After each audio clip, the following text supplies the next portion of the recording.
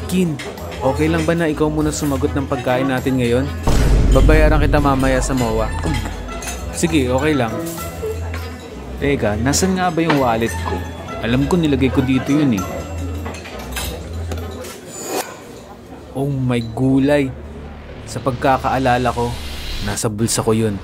Huli kong hinawakan yun sa pagsakay ko ng grab papunta sa Marikina. Nung nasa grab kasi ako, chinek ko kung dala ko ba yung debit card ko. Yun at yung smartphone ko lang naman kasi yung importante sa araw na yun. Binalik ko siya sa bulsa ko at medyo nagalangan ako sa shorts ko dahil yung bulsa ng shorts ko siguradong malalaglagan ng wallet o kaya smartphone. Pero yung nasa isip ko nun, sisilip-silipin ko na lang yung bulsa ko. Mararamdaman ko naman siguro kapag nalaglag tong wallet ko eh. Pumunta ako sa Marikina dahil yung tiya ko na umuwi galing ibang bansa E last day nila dito bago sila bumalik ng Amerika.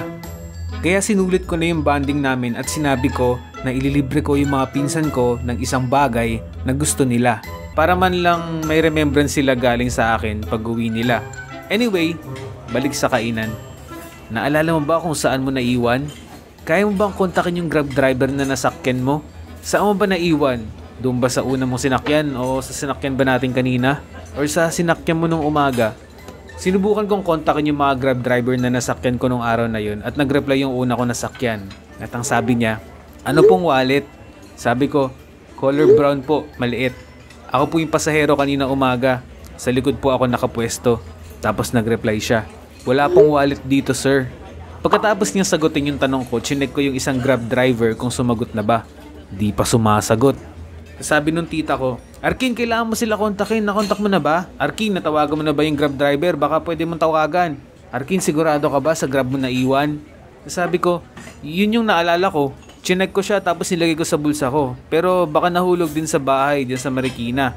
Baka pwede pa kontak kung sino yung tao doon sa bahay. Baka makita nila. Basta color brown lang na maliit.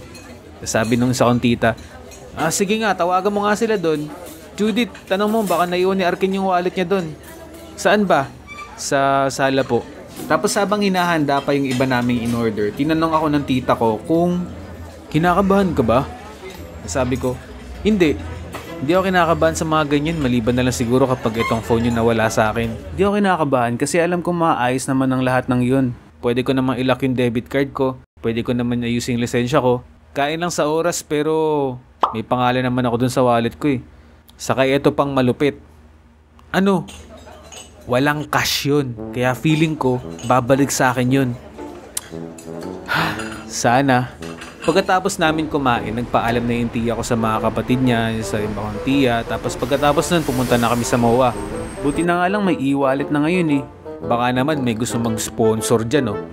May laman naman yung e-wallet ko nun kasi nilipat ko kaagad yung pera galing sa isa kong bank account bago ko siya ilock. Kaso, yung, yung main account ko, hindi ko mabuksan. Oh no, nagda-down yung server nila. Hindi ko malak yung card ko. Anong gagawin ko? Bakit ba ngayon pa kayo nag-maintenance? Sinasadya nyo ba to ha? Hinayaan ko na lang muna at nilagay ko sa isip ko na kung sino man na nakapulot nun, hindi naman niya magagamit yung mga card ko eh. Kasi may password naman yun. Pagdating namin sa MOA, dumiretso kami sa store kung saan makakabili si Ayla ng hinahanap niyang manga. Ang title nun ay uh, Ang Basket ng Prutas. So pumunta kami ng bookstore para hanapin yung gusto niyang manga. Ano Ayla, nahanap mo na? Nako Kuya Arkin, wala po ata silang available na ganong manga. Sabi ko, sige, tanong na lang natin mamaya. Tapos tinanong ko si Sabina, Sabina ano, nakakita ka na ba ng gusto mo? Tapos pinakita niya sa akin kung ano yung gusto niya. Tapos binili na namin. Ngayon, hahanap naman kami ng ibang bagay na gusto rin ni Ayla. Kasi nung nagtanong kami sa cashier, wala na daw available sa lahat ng store na hinahanap niyang manga. Sabi pa nga sa amin, kontakin na lang po namin kayo kapag may available na. Siguro po mga 1 to 2 months pa po magkakaroon. Tapos napatingin ako sa tiya ko. Nagkaroon kami ng telekinesis powers. Sabi ng utak ko sa utak niya, eh aalis na nga kayo bukas, di ba? Papuntang Amerika. Eh, paano yun? Babalik kayo dito ng Pilipinas kapag may available na. Kaya sabi na lang ng tita ko, ah, wag na lang, next time na lang po. So medyo na mahinga yung e-wallet ko. Tapos kinonta ko yung isa kong tita para manghiram ako para mayroon ako extrang budget. Hello, meron ka ba extra sa Gcash? Baka pwedeng pahiram muna. Nawala kasi yung wallet ko. Alay, paano yung lisensya mo? Saka yung mga card mo? Anong gagawin mo ngayon? Sabi ko, okay lang, aayusin ko na lang. Pagkatapos nun, sinendan ako ng tita ko kaya medyo nawala yung kaba ko na baka kapusin ako. So nagpunta muna kami sa isang store na merong bilihan ng mga pasalubong at ng mga Pinoy stuff kasi gusto daw bumili ng tiya ko ng mga damit, mga hikaw kasi puro babae sila eh. Saka mga pagkain. At habang nai-enjoy ko yung pagtingin sa mga maliliit na jeep doon, biglang may tumawag sa akin na walang pangalan eh. Tapos sabi sa akin, Hello kuya, nawawalan ka ba ng wallet? Tapos nabosesan ko kaagad yung pinsan ko. Sabi ko, oo bakit? Paano mo nalaman? Tumawag sa akin yung nakapulot ng wallet mo kuya. Sabi ko, oh, paano niyo nalaman yung number mo? Teka, teka, um, bigay mo sa akin yung contact. Sabi ng pinsan ko, Teka kuya, i-chat ko na lang sa'yo. Tapos pagka-chat sa akin ng pinsan ko, hindi ko mahanap yung pangalan na sinabi niya. Kaya chinat ko siya, sabi ko, i-GC mo na lang kami. Tapos maya-maya, tumawag sa akin yung number. Siyempre sinagot ko. Sabi ko, hello? Sabi niya, Hello, si Arkin po ba to? Sabi ko, Opo, ako po. Paano ko po makukuha yung wallet ko sa inyo? Tapos sabi niya, Sa klinik ko po, pwede niyo po kunin doon.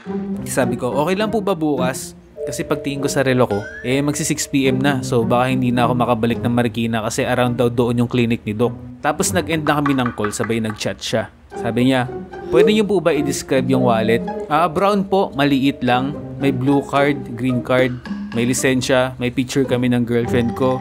Wala po gaanong cash kasi hindi po ako naglalagay ng cash. So kinakabahan ako baka kasi mamaya hindi pasok yung mga sinabi ko or magkamali ako sa mga sinabi ko. Tapos hindi niya ibigay yung wallet ko. Pero baka naman kamukha ako yung picture na nasa wallet ko, di ba? At nung nakabili na kami ng mga pasalubong at nang gusto ni Ayla, nagdrinks lang kami sandali tapos nagpaalam na. At ako naman ay umuwi na rin. Habang nasa grab ako pauwi, may gumugulo sa aking isipan. Bibigyan ko ba ng reward yung nakakuha ng wallet ko? Sobrang laking tulong kasi nun sa akin. Wala na ako lalakarin. Deserve niya. Kahit regalo lang okay na. Kaya sabi ko sa grab driver, Boss, baka pwede mo na lang ako ibaba sa mall malapit dun sa drop-off. Sabi naman sa akin ng driver, Sige sir. Nagkwentuhan pa kami ni Manong driver sa biyahe tungkol sa pagiging sundalo niya. Habang nagkakwentuhan kami, hindi namin namalayan na nakalampas na kami doon sa mall. Sabi ko, La boss, lumampas tayo. Ay sige, ayos lang pala. Lalakarin ko na lang. Saka wala na rin magagawa. Kaya pagdating ko sa mall, nagmadali ka agad akong pumunta doon sa bibilhan ko. Buti na lang kamo may natitira pa dun sa e-wallet ko. Ito yung mga tira-tira dun sa hiniram ko sa tita ko. At yun yung pinambayad ko. Pagkakuha ko ng binili ko, nagmadali na rin ako umuwi. Eh kaso, bigla ako may naalala. Meron ding bookstore sa mall na yun. Nakapareho ng branch na pinuntahan namin ng mga pinsan ko sa MOA. Kaya hindi na ako nagdalawang isip, pinuntahan ko kaagad. Naalala ko kasi yung manga na hinahanap ng pinsan ko yung basket ng prutas. Nagbabaka sakaling meron pa kasi sayang naman 'di ba? Paalis na sila kinabukasan. Pagpasok ko ng store, wala nang akse ng oras. Tinanong ko kaagad sa nagbabantay kung meron sila nung manga na yun. At sabi ng nagbabantay,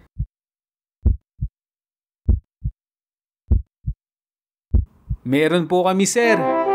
Nag-iisa na lang to. Sabi ko, sige, ibalot mo na yan boss. Bayaran niyo muna sir. Ay, oo nga pala. Pagkatapos kong bayaran, nagbook na kaagad ako ng Grab para maipa-deliver to kung saan sila nag stay Mission success naman. Na-deliver naman sa kanila bago mag-isang oras. Tinanong pa nga ako ng tita ko kung makakasama daw ba ako sa paghatid sa kanila sa airport kinabukasan. Sabi ko, hindi na kasi kukunin ko pa yung wallet ko eh.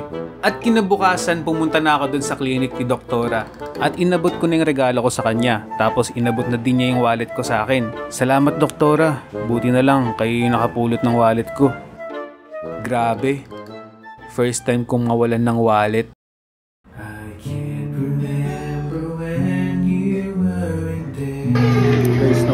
Wallet.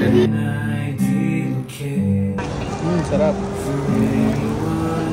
Gusto ko ganito eh, kaso chunk.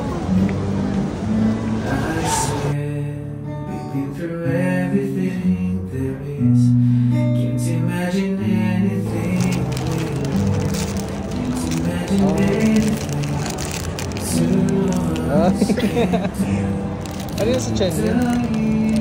So you put Okay. it doon sa hold me down turn my life around. The sweetest thing I've found, I found in you through the.